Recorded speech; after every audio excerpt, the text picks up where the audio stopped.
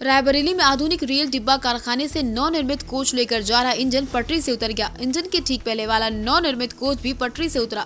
Northern railway का engine सुबह ही 19 नव निर्मित कोच की एक रैक लेकर जा रहा था। ट्रेन रेल कोच कारखाने से निकलकर एक किलोमीटर दूर लालगंज क्रॉसिंग के मुख्य रेल मार्ग पर पहुँचने ही वाली थी, तभी इंजन पटरी से उतर गया। हालाँकि इस घटना के चलते न तो कोई हताहत हुआ, न ही मुख्य रेल मार्ग बाधित हुआ। आधुनिक रेल डिब्बा कारखाना के सी पी श्रीवास्तव ने जानकारी देते हुए बताया। बताया उन्नीस नव निर्मित कोच लेकर जा रहा नॉर्दर्न रेलवे का इंजन, पट्टी से उतरा। उन्होंने बताया, घटना कारखाने से डिब्बों के निकल जाने के बाद इंजन उतरा है, जिसे रिस्टोर किए जाने की प्रक्रिया शुरू की गई।